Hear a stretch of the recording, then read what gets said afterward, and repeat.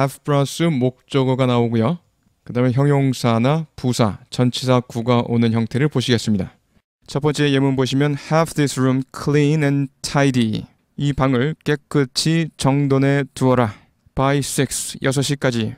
목적어 다음에 clean and tidy 형용사가 왔죠. 그리고 참고로요. keep을 써서 keep this room clean and tidy until 6. 이 방을 6시까지 깨끗이 정돈된 상태로 유지해 두어라. 자, 앞에 by와 until 차이점 알고 계시죠? 그래서 until 6, 6시까지 계속해서 유지해 두어라. 이때 동사 keep을 쓰겠습니다. 윈 문장에서 by 6는 내가 6시에 검사할 테니까 6시까지 깨끗이 정돈해 두어라. 좋습니다. 그 다음요. have it here by 2.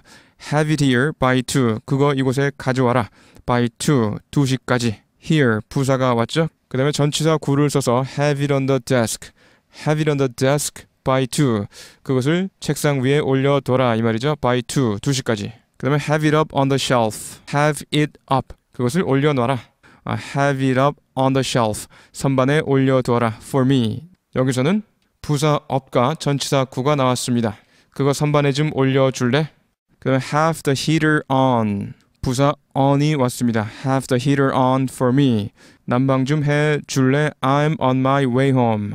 집에 가고 있는 중이다. 집에 가고 있으니까 난방 좀 켜둬라. have the heater on for me.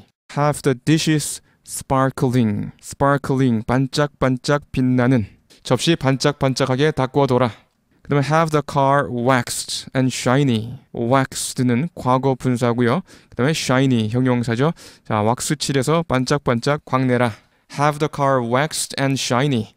have the car waxed and shiny.